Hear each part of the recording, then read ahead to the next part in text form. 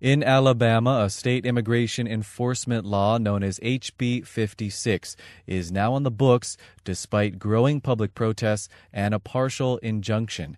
The law goes beyond similar measures in Arizona and Georgia by requiring public schools to ask students for proof of citizenship status and cutting off public utilities to undocumented residents. Ten members of Congress traveled to Alabama on a fact finding mission to hear from those directly affected by the law and will submit their findings to the Justice Department as it pursues a case against the state.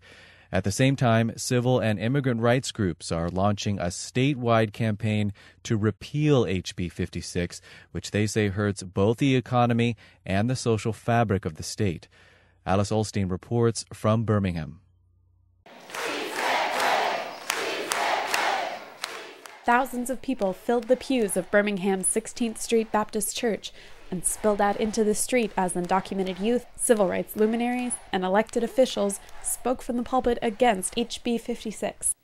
I'm here to ask you for help to stop this racist law. Myra Rangel crossed the border when she was just 16 to find work that would help her send money back to her younger siblings and ailing mother in Mexico. Over the course of 10 years in Alabama, she graduated from high school and college while working two jobs. Holding back tears, Rangel took the microphone at Monday's kickoff event to tell those gathered about the true effects of the law. Our community is suffering. My friends have been arrested for no reason, just because they look Hispanic. Police spend their days hunting undocumented people. They put checkpoints only in Hispanic neighborhoods. They make derogatory comments about undocumented before. And now with this law, we terrify what they can do. Under HB 56, law enforcement officers can demand identification if there's a quote reasonable suspicion someone they have already legally stopped or detained is undocumented. Yet, Rangel and others say this opens the door to selective enforcement and racial profiling in her community. In October, the 11th Circuit Court of Appeals placed an injunction on seven of the 30 provisions of the law, pending an appeal.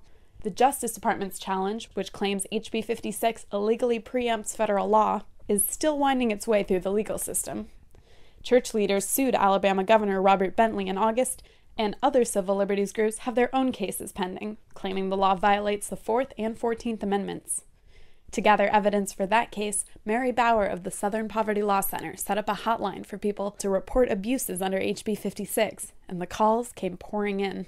A judge advised a lawyer that the lawyer had an obligation to report her own client to, the, to ICE as undocumented.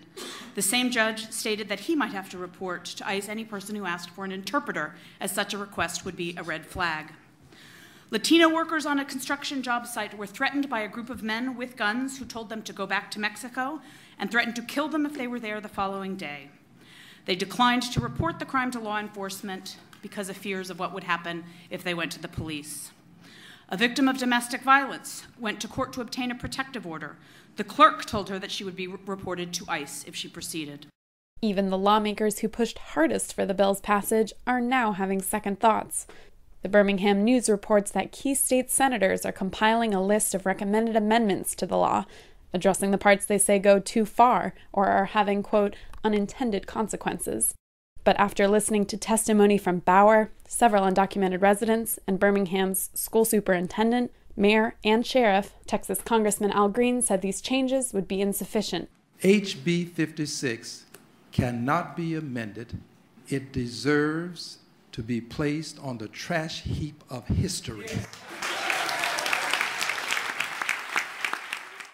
Another member of the delegation, California Representative Joe Baca, told FSRN that lawmakers have a moral responsibility to talk to the people directly affected by the legislation they pass, something he says happens far too infrequently. It's like out of sight, out of mind. But people who are actually experiencing and going through this, you have to put yourself in their shoes.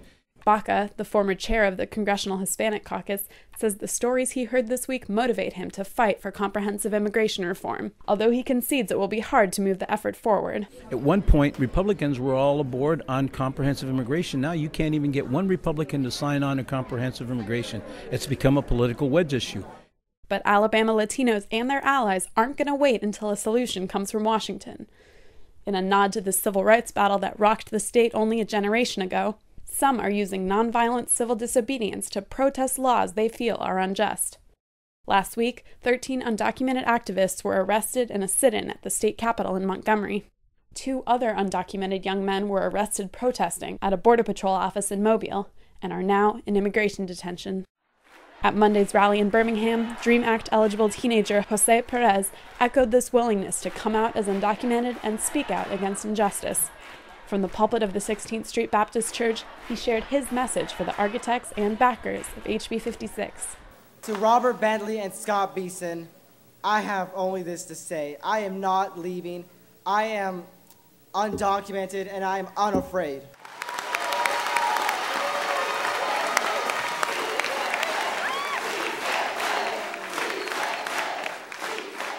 The state legislature is scheduled to vote on a bill to repeal HB 56 early next year.